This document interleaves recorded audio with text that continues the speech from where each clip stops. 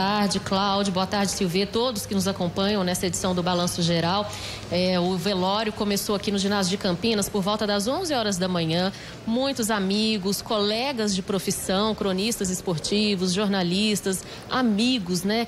uma pessoa muito querida, um cronista esportivo de personalidade forte, de um talento marcante e que agora está deixando esse vazio para muita gente, não só para as pessoas mais próximas, não só para a família, é claro, mas para todo mundo que acompanhava o trabalho dele nessas últimas décadas. Conversando aqui mais cedo com o Manuel, que é nosso colega, que é filho do Mané de Oliveira, ele contava que na véspera do Natal, ano passado, ele fez uma despedida. Ele já estava afastado há algum tempo para fazer o tratamento, o câncer já de uma forma bem agressiva, já tinha evoluído também para os pulmões, mas ele seguia, já tinha feito cinco sessões de químio e pediu: Eu quero voltar lá para a rádio, eu quero fazer uma nova participação. Ficou duas horas ali fazendo o que ele mais gostava. E agora eu vou conversar com o Valério Filho, que é neto do Mané de Oliveira. Boa tarde, Valério. Obrigada por você estar aqui com a gente, é, conversar um pouquinho para falar do seu avô. É um momento triste, é um momento pesado, mas a gente precisa falar também do legado, né? O que que, qual a lembrança mais forte que você guarda do seu avô? Ah, bom dia, bom dia a todos que nos assistem. Ah, de fato, é um momento de muita dor, muita consternação. Ah, a gente nunca imagina que isso vai acontecer. Mesmo meu avô já tendo ando lutando com essa doença há algum tempo, que é uma doença muito agressiva, né?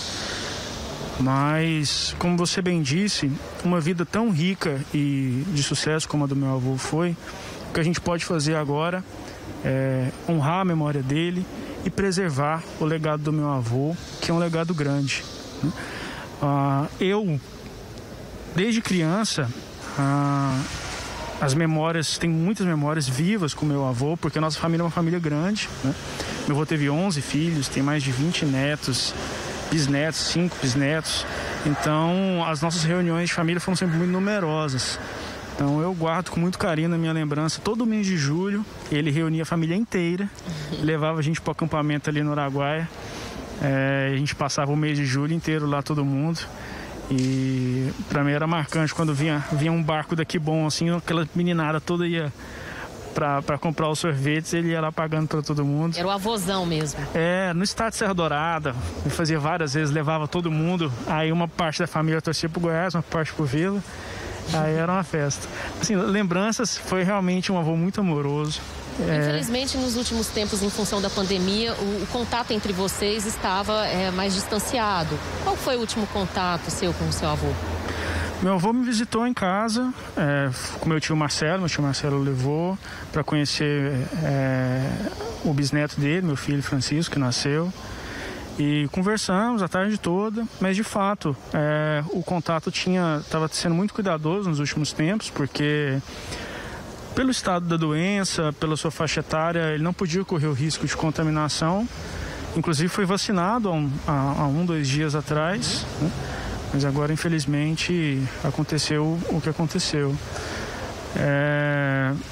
Nossa, nossa determinação é levar para frente o, o, legado do meu avô. A gente estava conversando aqui que a primeira vez que apareceu Goiânia Urgente foi na, na TV Goiás acredito que seja TV Goiás, né? E ah, meu avô era apresentador, então, nos anos 80, ele comandava as duas maiores equipes de esporte aqui do estado, né, o Scratch Ouro, Seleção do Povo. A partir de 97, sua equipe ficou no ar aí na televisão por mais de 20 anos. Então, tem uma história longa. É difícil alguém falar que não conhece Mané de Oliveira. Sim, tem uma história longa na comunicação. Muitos dos, dos, dos, dos profissionais chegam para mim e falam: Ó, oh, trabalhei com seu avô, foi com seu avô que fez meu primeiro estágio.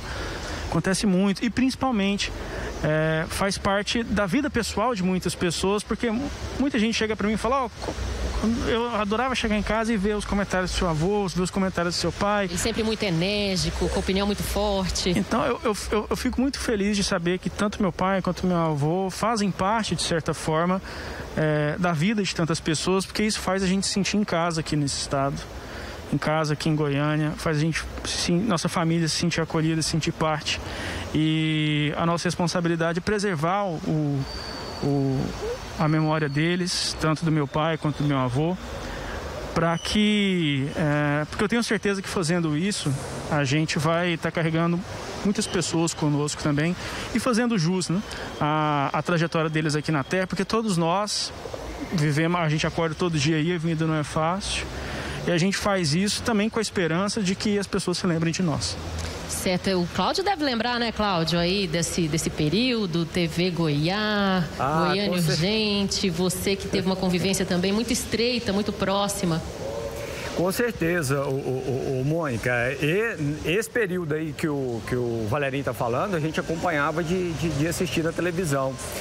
É, e aí, quando veio o TBC Esporte com a, com a equipe do Mané, fez história também. Eu fiquei nove anos lá na, na, na, na, TV Brasil Central, trabalhando lá com a equipe do Mané. Lembro do Valerinho, não sei se o Valerinho vai lembrar dessa história. A gente lá era uma família muito grande de frequentar a casa. Valerinho, você lembra aquele dia que nós fizemos um campeonato de videogame lá na Ele sua casa? videogame com você. Isso, a gente fez um campeonato de videogame. Isso aí... mesmo, ele contou isso pra gente. Pode ah, falar mais aí. É, aí o seguinte... É, tava contando aqui que o, o, meu pai gostava de jogar videogame, joguinho de futebol, né? Winnie Eleven, na época, PlayStation 1.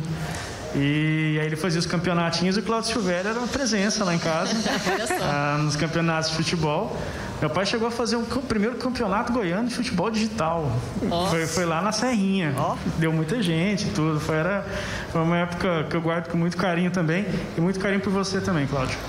É, um abraço para você, Valerinho. Aí o Valerinho achou que ia ser fácil me eliminar, perdeu de 3 a 0, ficou bravo, queria jogar o videogame no chão, né, Valerinho? Seu pai deu uma dura no você, aí você acalmou mais um pouco aí.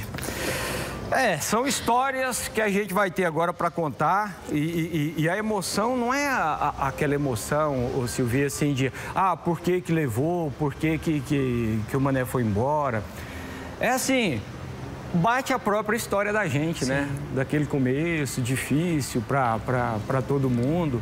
E aí fica aquela nostalgia, aquele, ah, aquele agradecimento. Os atletas da atualidade e os ex-atletas também, né, Cláudio? Porque tiveram muito impulsionamento por conta ali de uma crônica tão importante como a do Mané, né, da maneira que ele sempre trabalhou. E... Tá lá, ali do lado do, do, do caixão lá, a, a, de, de cabelo branco lá, é a Sônia.